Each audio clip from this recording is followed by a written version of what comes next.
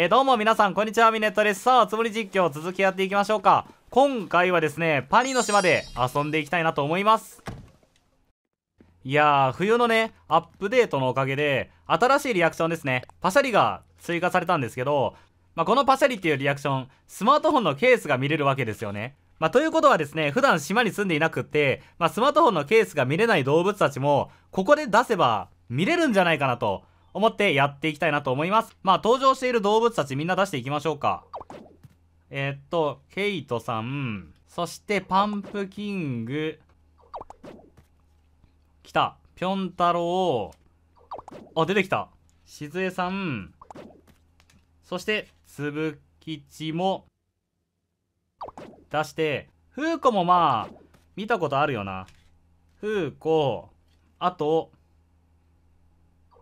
ジョニー、そして最後一人が、夢見。まあ、一旦ね、このメンバーでやっていきたいなと思います。ZR でリアクションすることによって、よし、じゃあ一人ずつ、パシャリしていってもらおうか。来た。ちょっと遠いな。ちょっと遠いが、じゃあここで一回全員にリアクションしてもらって、それでカメラを起動します。一人ずつ近くに寄ってってこれでパシャリしてもらったらいいんじゃないか？みんな同じリアクションする。わぴょん太郎のスマホケース可愛くない？これ。レゴブロックみたいな見た目してるな。シャンクはイメージ通りのまあ黒色ですね。シャンクはイメージ通りまあ静江さんはね大体の人が見たことあるかなと思うんですけど OK。まあ、島内放送とかでよく見ますよね。じゃあ、奥の方に行くと、パンプキング。まあ、自分のね、服のカラーである紫と、あとはかぼちゃカラーのスマートフォンのケースですね。夢見、夢見かわいい。バラか。あ、でもケイトさんのスマートフォンのケースもあんまり見たことないよね。シンプルだなエレコムとかに売ってそう。ふうこちゃんはね、まあ、見た目通りピンク色ですね。可愛らしい。あんまりつぶきち豆吉もスマートフォンのケース見なくなったから、この機会に見ておきましょうか。同じスマートフォンのケース使ってるんだ。君ら、仲良しだな。ジョニーはそのまんまだね。海賊のようなイメージのスマートフォンのケースを使っております。まあ、というわけでですね、こちら、パシャリを使うことによって、まあ、普段ね、見ることのできない動物たちの、まあ、スマートフォンのケースが見れるんじゃないかなと思いまして、今回検証してみたんですけど、いろいろな住民たちを他にも出していきたいなと思います。いやー、すごい今更だけど、音楽ないの寂しいね。なんかつけとこっか。違うな。まあ、みんな集まれ流しながら、次の住民たちを呼んでいきます。まず、ローラン呼んできて、常吉呼ぶ。あと、ラコスケ。ラコスケはまあ見たことあるか。ワンチャンリセットさん出せたりしない？あ、そうっすか。左遷した。オッケー。あさみさん。あと、トタケケは？あ、トタケケ呼べないんだ。あ、なんか昔呼べなかったっけ？改造だね。レイジー。まあ、あさみさん呼んでるから、絹代さんも呼ぶ。リサさんも呼んだ。見知らぬ猫言っとこうか。よしではですねこの住民たちの普段見ることのできないスマートフォンのケースっていうのを確認していけたらなと思います。パシャリ。よしじゃあまずは常吉から順番に見ていきましょうか。あ何これ。風呂敷みたいな色してるな。さすがブラックマーケット常吉のスマートフォンのケースですね。2人目。えっ、ー、と、ラコスケ。なんか、がっつり見たことないよね。常吉とカラーは似てるけど、なんか書いてあるくない？あ、でもこれ動物語だから読めねえな。何これ？なんでカマ映ってるの？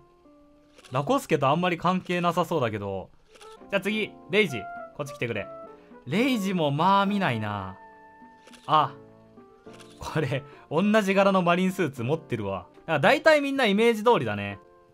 見知らぬ猫がちょっと俺のイメージとは違った感じだけど青色のスマートフォンのケースだと思ってたがどうやら赤色っぽいね。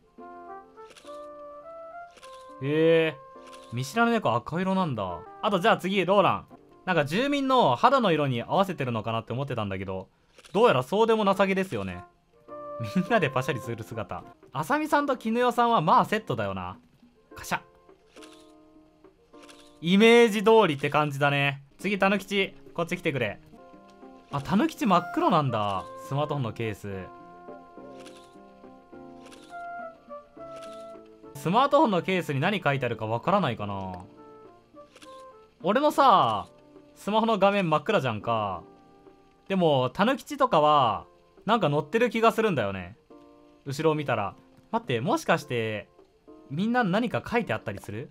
えでも大体の人がスマホの画面真っ白なのにたぬきちだけが唯一何か載ってますね。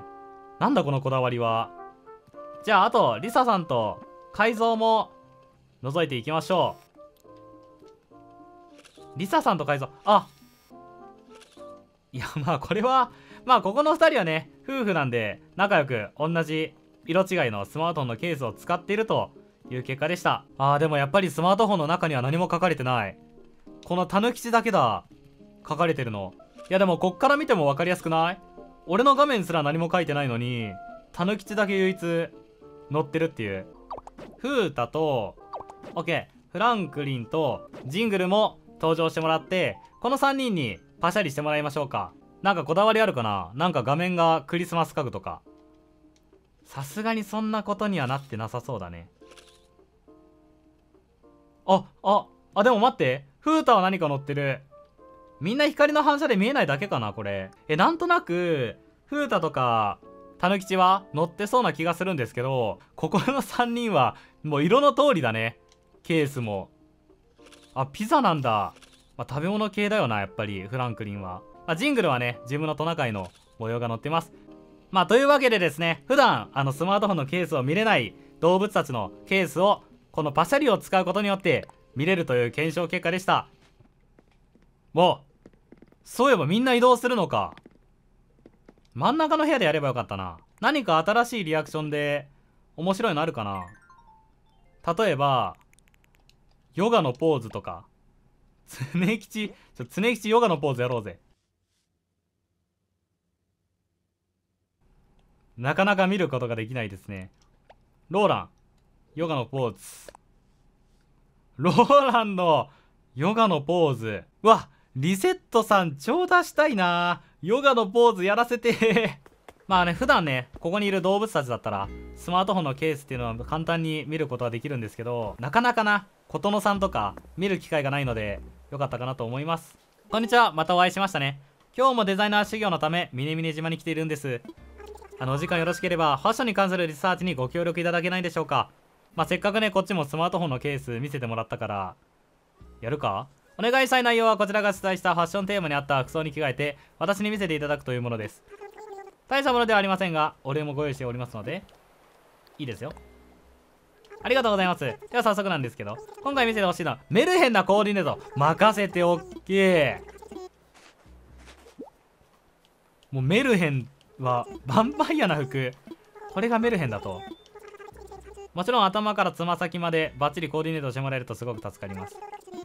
メルヘンは強いっすよ。チロリアンなドレスかな。もしくは魔法使いのドレス。これかこれの2択な気がする。チロリアンなドレスか。魔法使いのドレス。なんかアフロに似合うのはこっちだな。こっちで行こう。よし。あとね手紙も全然見てなかったんですけどブッシュロノエルが届いたはず。あったね。ブッシュロノエルの色違いなんですよ。この色違いを使ってどっか飾ってもいいよな。ここ飾る？これを4つとも回収してこれ1人1個ずつ食べたら胸焼けしそうですね。もう1個あった気がする。ブッシュドノエルどこだ？閉まったかな？まあ最後1人は T セットでしておこうか。さあではですね1ヶ月ぶりに魔法使いのドレスに着替えてきたからそちらのコーディネートもう見せていただいてもよろしいですか？いいですよ。ありがとうございます。早速見せてもらいますね。ふむふむ。なるほど。まさにメルヘンというイメージにぴったりのコーディネートだと思います。アフロはどう評価するんだろうね琴乃さんは。アイテムの組み合わせが絶妙でしっかりとファッションテーマが表現されていると感じました。うい仕立て屋クーポン。あこれも受け取ってください。私がデザインしたものなんです。お気に召すかどうか分かりませんが。ありがとう。ケイトのソックス。あかわいい。紫色なんだ。意外だね。まあここら辺もねグレースのセンスを引き継いでるということなんでしょうか。いやグミちゃんってさすごい秋と相性良くない？なんか絵になるよね。あんまり拡大しすぎない方がいいか。まあ、こんな感じか？イメージ的には。エモいなではですね最後にララミンちゃんと会話をして終わりにしたいなと思います。今日は琴乃さんがいらっしゃってるみたいです。ちょっと自信はないんですけど私もコーディネートを見てもらおうかしら。たらまあケイドさんもねグレースの衣装をついてると思いますのでぜひぜひうちのリス住民も見てもらえたらなと思います。特に俺はナターシャちゃんを見てほしいな。というわけでですね今回はパニの島でパシャリをすることによって今まで見ることのできなかった動物たちのスマートフォンを見れましたというお話でした。今回はこの辺でおっときましょう。じゃあな。